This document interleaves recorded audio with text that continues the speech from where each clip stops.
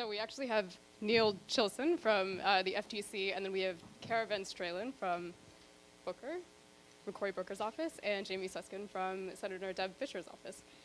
So uh, I think we're going to talk more about the policy side of this right now um, to begin with. And I know um, both of your offices are working on a bipartisan effort to create uh, a national resolution or national strategy for the Internet of Things. Um, so I want to talk to you guys about why that's important. Why do you need to have a strategy for the Internet of Things? Is it really just so that uh, the commercial sector, the tech, tech companies can they know that uh, you know Congress knows what the Internet of Things is, or is, is there a broader goal here?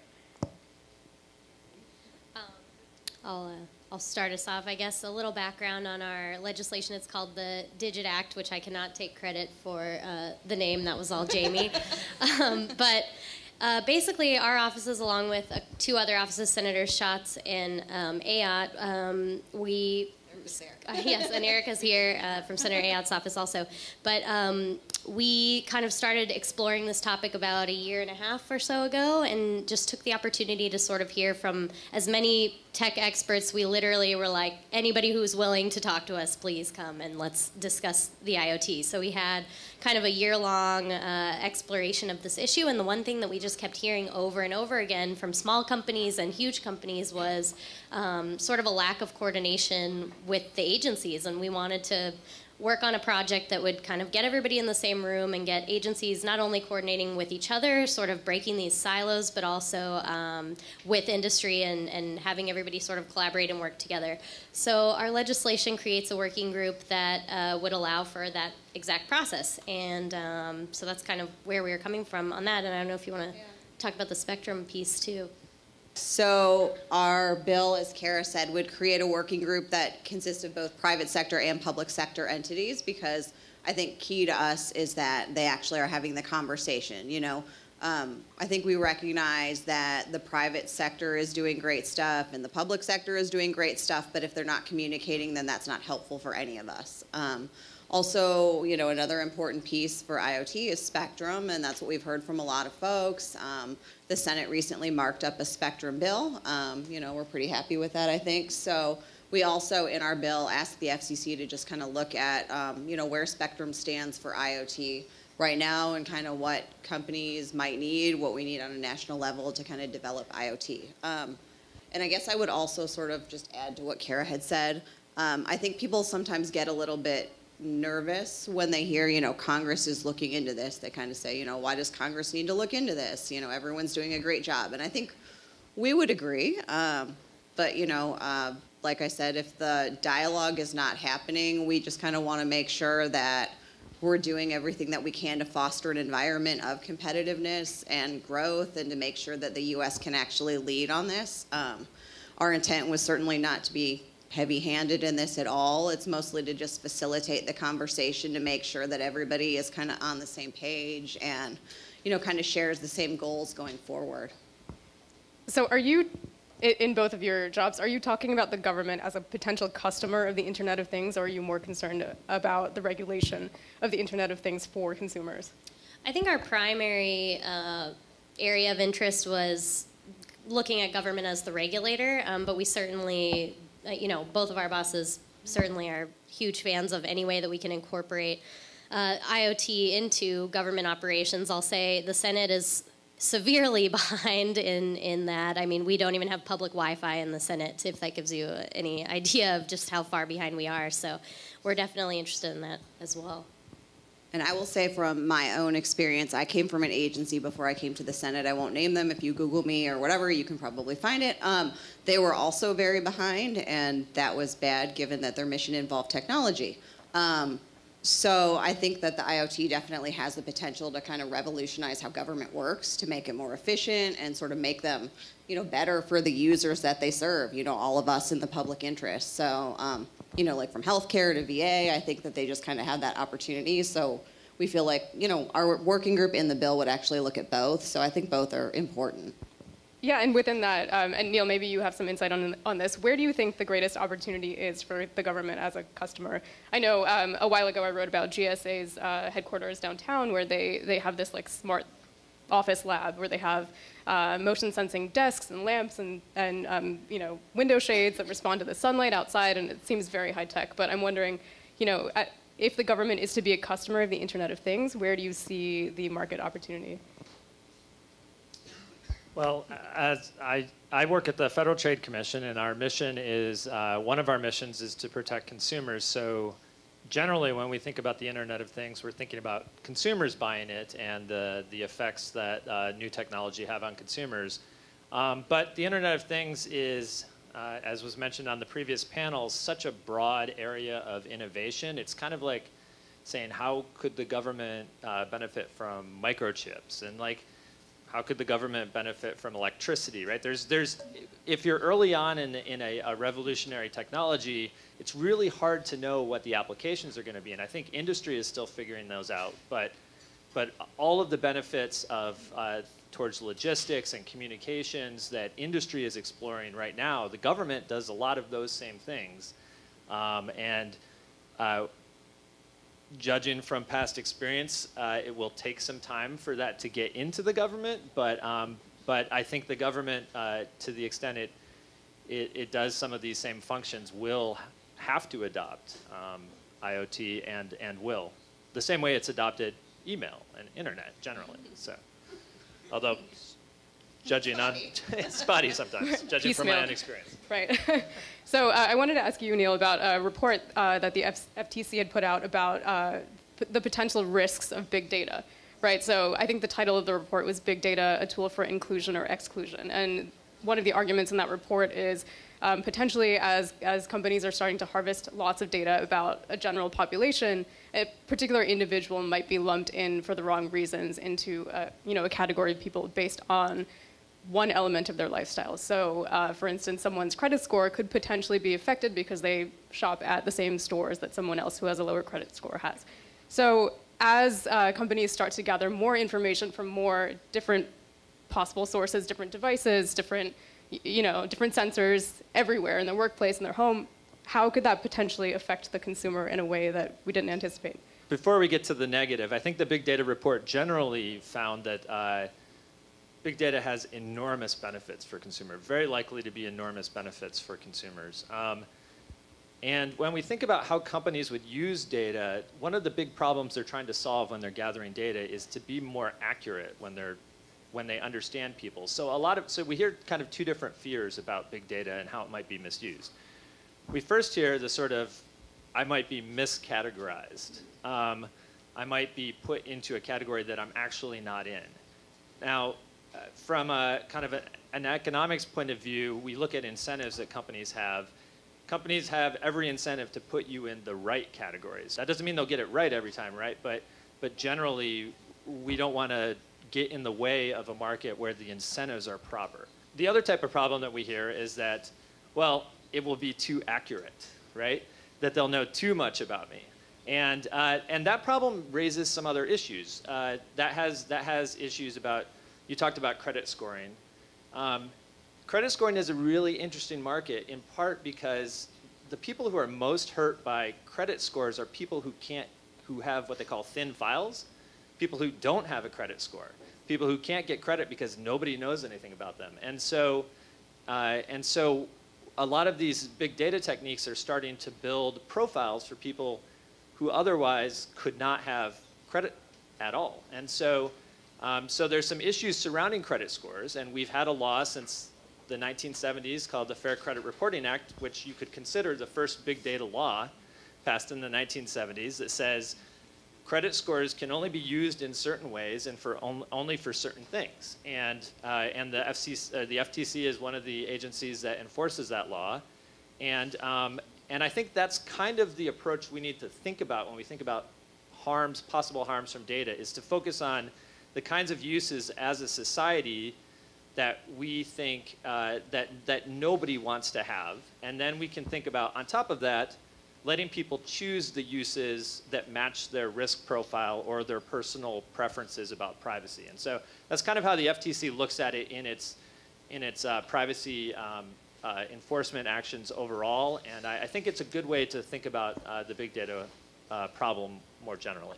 So, how much responsibility in, in the FTC's framework does the consumer have to actually figure out what data is being collected about themselves and make sure it's accurate and make sure that they actually want it to be collected? So, so that's great. That's a great question. Uh, we, the obligations on companies under the, uh, the uh, FTC's privacy uh, regulations are first, if you say something, it has to be true. And what we've seen is over time that, that companies, if you look at it now, if all they were worried about was getting sued by the FTC, nobody would have a privacy policy, right? They, would, they wouldn't make any promises to consumers about what they did with data. What we've seen is that the market actually pushes companies, consumers want to know in the broad details what people are doing with their data. Um, privacy policies can be really dense, and they're not always effective at communicating that, but there are lots of groups out there who, I, I know every time Facebook changes its privacy policy, uh, lots of people let me know, so I don't have to read it myself. So, um, so there's lots of groups out there who have an interest in digging into those details and, and can uh, get that information out. So privacy policies serve a good job of transparency. As far as what consumers are obligated to do or where we would let companies off the hook, uh, uh off the hook is the wrong, the wrong, kind of the wrong way to put it. Companies have to tell the truth to their consumers. If they say one thing and they do something else, uh, they can be liable. Uh, and then at a baseline, if they do things uh, that are unfair under, our, that's one of our, our legal standards is unfairness, uh, where the, the benefits of the practice are the costs of the practice are outweighed by are outweigh the benefits, and uh, there's a substantial harm to consumers that they can't avoid. Um, then, so that's a baseline of practices, and that kind of gets back to the privacy practices I was talking about before, the kind of use-based practices. You can't use credit reports, um, you know, to to decide whether or not to hire somebody. That sort of thing, where we said we've just said straight up, this use is not fair. Um, and we've said that kind of as a society, either through Congress or through, uh, you know, uh, a, a rule uh, cases over time that show us that those that consumers uh, don't benefit from that. Um, uh, so I'm not sure I answered your question. Consumers don't have an obligation other than their obligation to to uh, make the choices that they think are in their interest, and companies have to respect those choices when they make it. Sure. So it seems like all of you are, thinking about this from more of a, a consumer perspective. So I'm wondering, um, from from an education perspective, what kinds of things do you think consumers still need to know? Um, as more and more things are getting connected, um, you know, do you have any tips for consumers uh, how to protect themselves or how to make sure that their information isn't? so um, yeah, we have we have a lot of tips for consumers about privacy practices generally and about data security. Um, we also have a lot of educational materials for small businesses, um, and we have a new program called Start with Security that lays out 10, 20, 10 or 20 lessons from our case law about what what um, what are proper data security practices. Um, some of those tips, uh, you know, you and I would never do, like don't open attachments from people you don't know. Um, but some of them are, are more detailed uh, about, uh, in the, especially in the business sphere, about like, you know, design, design security in, design privacy in. Um, think about those up front because it's really hard to retrofit them in later. Um, as far as Internet of Things specific, our, our, you know, our report um, that we did in 2014 the main concern that was that that we heard about from all the participants in that was uh, security and one of the problems there, um, thinking of it from an economics perspective, is very much a uh, incentives problem. If you have a small light bulb, um, updating the security in that light bulb may not make a ton of sense from a from a business point of view, and so you could have out of dated devices. Now, the truth is that that light bulb is really only useful if it's in a smart home system, and that smart home system could, the company that has that smart home system has every incentive probably to make sure that the light bulb is updated or the consumer is aware that it's not. So, what's it like when you're briefing your Congress, your Congress people? Are they really getting this stuff? Like, how, and how deep in the weeds do you guys get? Because I'm always curious when I go to these hearings and I hear people talk. Most of them don't really sound like they know what they're talking about past talking points, but you guys do. So I want to What, what's that interaction like? Well, uh, this just made me think of earlier this morning when I was trying to fix our printer in my office, and I'm like, I don't get this technology, you know, I just regulate it. No, but um, I'd say uh, both of our bosses are pretty pretty savvy on this stuff. My boss, if anyone follows him on Twitter, uh, Snapchat now is his new thing. Does he do all Um, his own tweeting? I wonder that. I'd say 90% or so, most of it, yeah. Um, my boss is a huge tech fan. He would love to be here with all of us nerds talking about this this topic.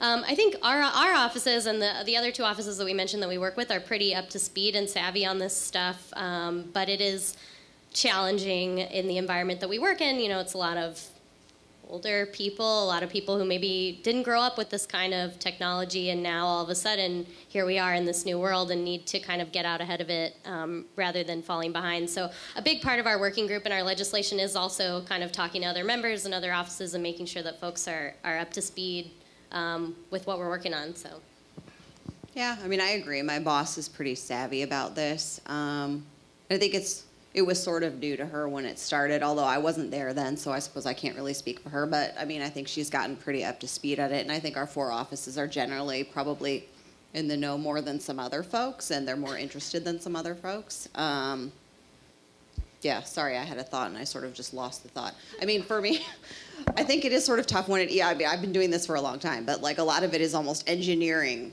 talk, you know? So one time she asked me, like, what does outgoing only voice over IP mean? And I was kind of like, I need to go back and look that up and I'll get back to you, you know? So um, it is hard because there's a lot of technical concepts. And for me, I'm a lawyer, I'm not an engineer. So, um, you know, there's a lot of things you sort of need to explain in layman's terms. And I think we'd have to do that with anybody not just our boss. I mean, probably anybody that we meet with or talk to, we'd probably have to do the same thing just to make it make sense for non-techie telecom types. I think we have about one minute. Does anyone have questions in the audience? Tom? So, uh, a few years ago, we had something called the Digital Government Strategy, which is a strategy for federal government for mobility, basically. Do we need a federal strategy for big data? Do we need a federal strategy for IoT? Can we put that in a bill? Because it, it, it definitely helped mobility move along. I don't know if the House ha- is off BlackBerry yet, but most agencies have gotten off BlackBerry. And it was very constructive because then you had Department of Justice talking to Marty's team at NSA, and you had this big galvanizing effort. We don't have that right now. We've got it for cloud, we've got it for mobility, we don't have it for IoT and big data. do you want to talk about that? Um, we we actually 100% agree on the strategy. We introduced a resolution that passed the Senate unanimously last year, calling for a national strategy around IoT um, to do exactly that, to make sure that we're kind of out front and uh, that regulation isn't sort of falling behind and trying to catch up long after the fact. And Jamie talks about this a lot. That the last thing that we want is for companies to come out with these amazing new innovations and then get caught up in reg- rules and regulations that they never saw coming. Um, so we definitely are on board with the national strategy and, and have been working on that. Although if you're, are you sort of asking about government as a user though, more than sort of consumer? More on the government side. Yeah, I mean, I think it's something that sort of needs to be considered, right? Um, I mean, it's kind of hard. You you sort of see that not every agency is sort of standardized. I will say that at my old agency, when they got VPN, it was like a huge deal. Um, so yeah, I mean, I guess it's probably worth sort of that conversation with GSA and thinking further about like what needs to be done. I mean, we see it with technology generally with what they're doing. I mean, it's hard to sort of even get all the agencies that like manage spectrum on the same page. So, you know, I think it's probably worth a consideration if we want to think about how the government is going to use IoT down the line. Yeah, they need to figure out sort of how to be a little more um, uniform and efficient about those things. So I think we have to wrap it up, but before I let you guys go, can we just do a really quick lightning round and you tell me what you think the most exciting part of the Internet of Things is? Maybe it's not around today, maybe it's something a few years down the line, but what do you think is the most exciting vision for the Internet of Things? Should I go first? Um, so I'm a big proponent of telehealth and you know remote patient monitoring. Um, my boss represents a pretty much rural state. You know we've got Omaha, we've got Lincoln, the rest of it is rural. So I think that you know to help folks that are in rural areas for, you know, in particular access healthcare and sort of make things more efficient for them and make things um, easier to bring to them, I think is really great. I mean, we're seeing a lot of it now, but, uh, you know, I've met with some companies from back in Nebraska, and they're doing just great stuff to sort of advance connectivity in that space. So I think that's big for me.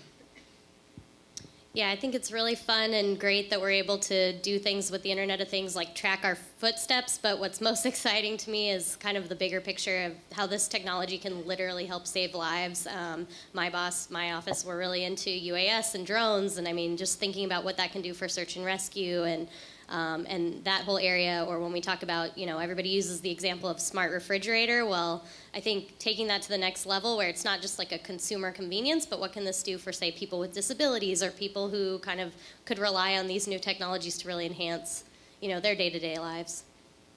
Uh, those are both amazing answers, and I think probably I, I agree with those. Uh, I'll go a bit more abstract and say what I think the, the ability to make uh, the, the things that we use every day uh, close the loop with the people who make them so that they get feedback on how we're using them and they can design better things. And so all of the all of the small changes, the small evolutionary uh, um, improvements in materials that happen almost unnoticeably, all of that stuff is going to happen faster, and so we'll have better products uh, faster because manufacturers will know what they're getting wrong much much faster.